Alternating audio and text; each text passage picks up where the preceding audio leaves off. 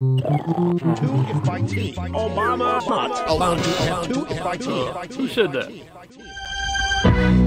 We can drink delicious two if by tea. We thought you were emancipated. I blame the First Lady. She's a bully. But Michelle's my bell. Here's your bell. Rather has a nice ring to it, right, Rush? I could almost taste the tea. It was like a dream come true. From tea to shining tea.